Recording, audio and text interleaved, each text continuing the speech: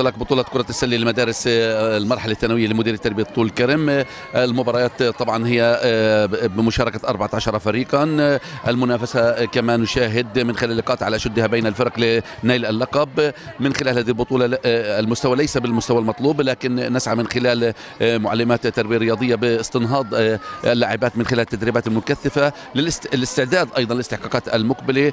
بهذه المناسبة نشكر أيضا مديرية التربية والتعليم على تفعيل هذه النشاطات وأيضا مدرسة جمال عبد الناصر على استضافتها البطولات في هذا في الفصل الأول من هذا العام. ومديرة المدرسة وفاء آسيا ومعلمة التربية الرياضية هالة نور. وأيضا معلمات التربية الرياضية اللي فعلا ببذلوا جهد كبير جدا من أجل إنجاح مثل هذه البطولات.